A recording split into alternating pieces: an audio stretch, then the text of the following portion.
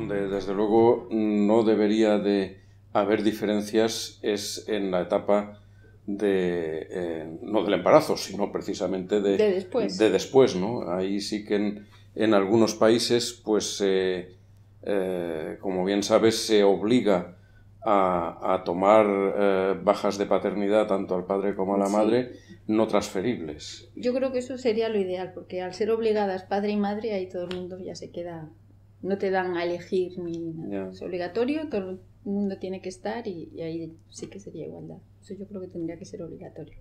Ya, ya, ya, Desde mi punto de vista. No, no, sí, yo creo que también. Lo que pasa es que estamos a años luz aquí de, llegar a eso. Sí.